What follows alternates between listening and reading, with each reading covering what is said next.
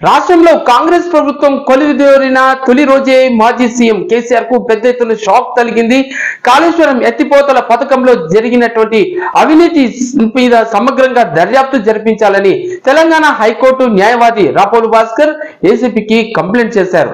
ఇక మాజీ సీఎం కేసీఆర్కు మాజీ మంత్రులైనటువంటి KTR Harish Rao MLC Kavitha contractor Megha Krishna Reddy engineering chief వెంకటేశ్వర్ల మీద కూడా కేసు నమోదు చేయాలని ఆయన ఆ ఫిర్యాదులో పేర్కొన్నారు.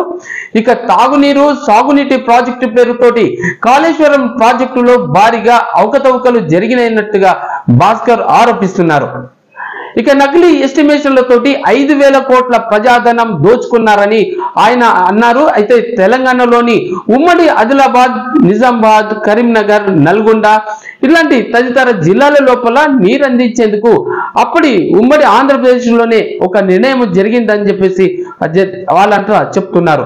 సో ఇది ఇలా ఉంటే మొత్తం మీద ప్రాజెక్టు పనులు ఏడు లింక్ల కింద మొత్తం ప్యాకేజీల మీద నాటి ప్రభుత్వం ఒప్పందం చేసుకుంది.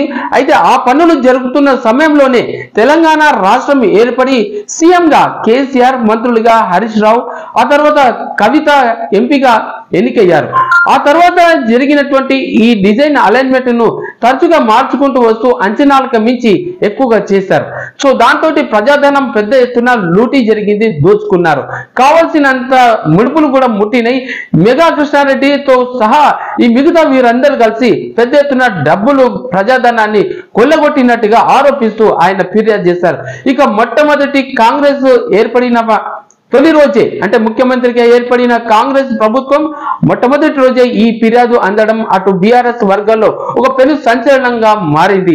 ఇక ఇప్పటికిప్పుడే మొట్టమొదలే ఇప్పుడే స్టార్ట్ అవుతున్నటువంటి ఈ అవినీతి చిట్టాలను ఒక్కొక్కటిగా బయటపడుతున్న తరుణంలో మొట్టమొదలే ఈ మెగా కృష్ణారెడ్డితో సహా కేసీఆర్ మీద ఈ ఆరోపణలు రావడం ఆ తర్వాత విచారణకు రేపో మాపో సిద్ధం కావడం ఆ తర్వాత ఏం జరగబోతుందనేటువంటి విషయాల మీద సర్వత్రా ఆందోళన